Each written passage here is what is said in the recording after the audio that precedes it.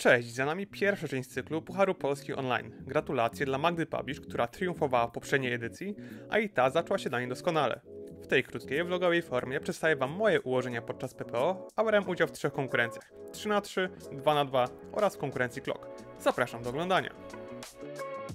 Regulamin zawodów wymagał od zawodników nagrania ułożenia, które następnie należało wysłać organizatorom w celu sprawdzenia prawidłowego pomieszania kostki i weryfikacji wyników.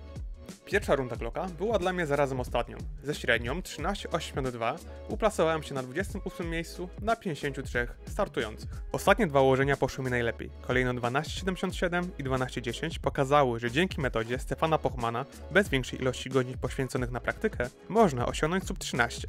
Po pierwszej rundzie odezwał się do mnie jeden z uczestników, który dzięki tej metodzie, do której poradnik znajdziecie w prawym górnym rogu, osiągnął w pojedynczym ułożeniu SAP 8. Gratulacje! Przyszłość mojego kloka to na pewno praktyka poznanej już metody.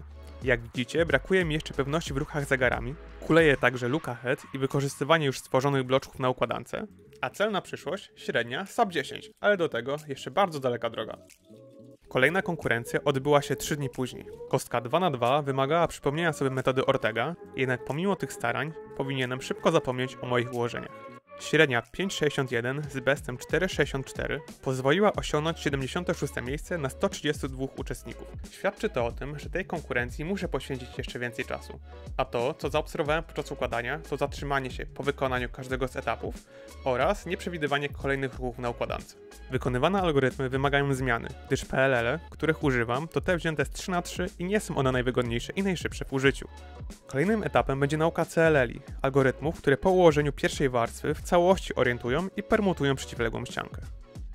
Chyba najpopularniejsza konkurencja, czyli układanie kostki 3 na 3 zawsze niesie ze sobą chęć osiągania jak najlepszych wyników. Ta chęć w moim przypadku oznacza stres. Stres objawiający się drętwieniem oraz wychłodzeniem rąk, co nie sprzyja podczas układania. Nie bez przyczyny wielu speedcuberów używa ogrzewaczy czy suszarek. Czy tak jak mówił Adam Polkowski podczas zawodów? Ciekawy jestem, czy zaraz znowu będziemy rozmawiali o zasadności suszarek i ich legalności, tak jak było w zeszłym sezonie. To jest, to jest świetny patent, ja to nawet stosuję w blindzie. Naprawdę, to no, jest bardzo dobre. Tak. 18,43. Taką średnią wykręciłem podczas pierwszej rundy kostki 3 na 3 W porównaniu do moich oficjalnych wyników jest to regres sięgający zawodów w Chorzowie w 2014 roku w ramach Śląskiej Ligi Speedcubingu. Słaby Lukahead, F2L podczas którego niektóre przypadki rozwiązuje okrężną drogą, czy OLL układane na dwa razy, to tylko niektóre z elementów wymagających poprawy. Nie oczekując awansu do drugiej rundy, pożegnałem się z pierwszą edycją PPO 2021. Jednak powiadomienie z Discorda oraz sprawdzenie wyników innych uczestników spowodowały, iż 20 minut przed startem drugiej rundy dowiedziałem się o zakwalifikowaniu do kolejnego etapu. Z pozycji 119 wystartowałem w drugiej rundzie. Pierwsze cztery ułożenia w pełnym stresie. Wyniki nie zachwycają. Po opadnięciu emocji, po mieszaniu kostki po raz ostatni, wydarzyło się to.